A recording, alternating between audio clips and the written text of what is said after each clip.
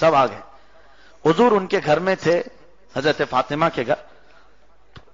हज़रत अबू बकर भी थे, हज़रत उमर भी थे, हज़रत उस्मान भी थे।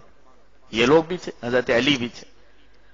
सैयद कायनात फातिमा तला ने शहद का एक प्याला हुजूर के पास पेश किया। उसमें शहद था और बहुत ही हसीन और जमील खूबसूरत प्याला था। वो हुजूर सल्लल्लाहु अलैहि वसल्लम की खिदमत में पेश किया।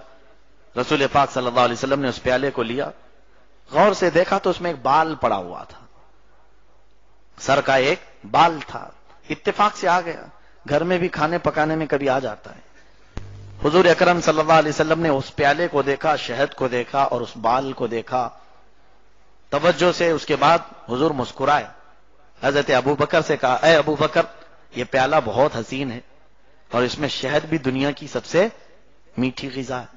उसमें एक बाल पड़ा हुआ, ये तीनों की मिलती जुलती कोई मिसाल आपके दिमाग में आती? है हज़रत अबू बकर ने वो प्याला लिया, कहा, या रसूल अल्लाह सल्लल्लाहु अलैहि वसल्लम, मेरे जहन और दिमाग में ये मिसाल आती है कि ईमान इस प्याले से ज़्यादा हसीन होता है। ईमान इस प्याले से ज़्यादा हसीन होता है। और जिसके सीने में ईमान आ जाए, वो शहद से ज़्यादा मीठा होता है।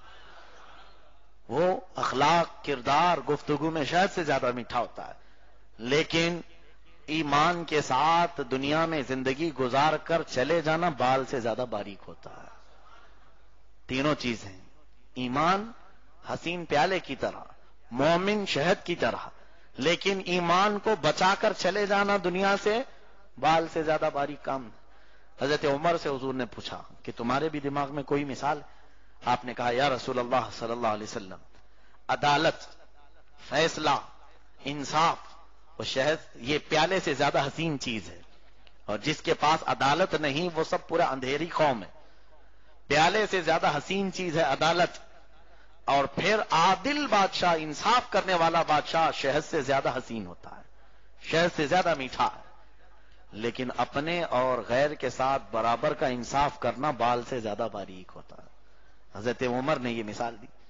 हज़रत उस्मान गनी ने वो प्याला अपने हाथ में ली आका, इजाज़त हो तो मैं अर्ज़ कहूँ कहा, या रसूल अल्लाह सल्लल्लाहु अलैहि वसल्लम, इल्म दीन इस प्याले से ज़्यादा हसीन होता है।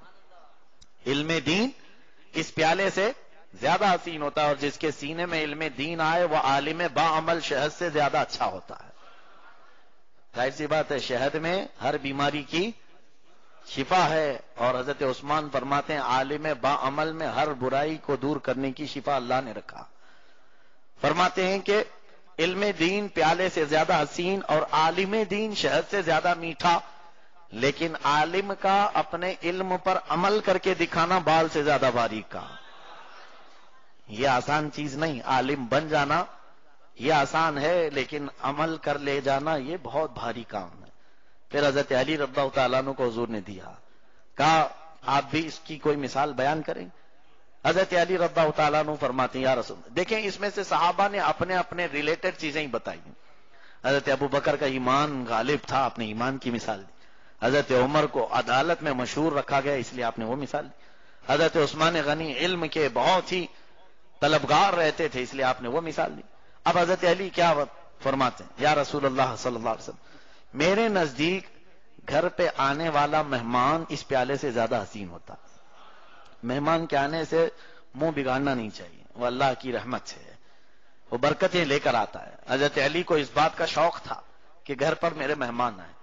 फरमाते हैं कि घर पर आने वाला मेहमान इस प्याले से ज़्यादा हसीन होता है। और उसको अच्छी गिजाएँ खिलाना हमारी तरफ़ से यह शहद से ज़्यादा मीठा काम है। उसको अच्छी गिजाएँ खिलाना, यानी मेहमान नवाजी करना यह शहद से मीठा काम है। फिर फरमाते, मेहमान को खुशी खुशी रुखसत करना बाल से ज़्यादा बारी है।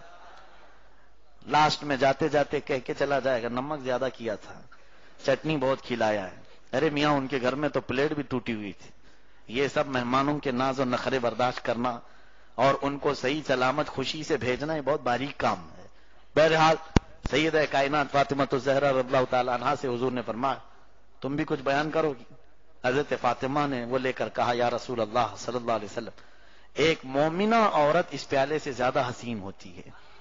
ईमान वाली खातून इस प्याले से ज़्यादा हसीन होती है। और अगर उस पर हिजाब आ जाए, पर्दा आ जाए तो शहद से ज़्यादा मीठी होती और फरमाती हैं, हज़रत फातिमा, के हिजाब में पूरी ज़िंदगी गुजार कर चले जाना, बाल से ज़्यादा बारीक। हाँ पर्दे में रहकर पूरी ज़िंदगी गुजार लेना बाल से ज़्यादा बारीक काम है। अखीर में मेरे आका सल्लल्लाहु अलैहि वसल्लम ने वो प्याला लिया। तुम सबने अपनी ताकत और अपने इल्म के मुताबिक इसकी मिसालें बयान की। चारों खुलफा राशिदीन, सईद कायनात ने। अब आका का मकाम आया है।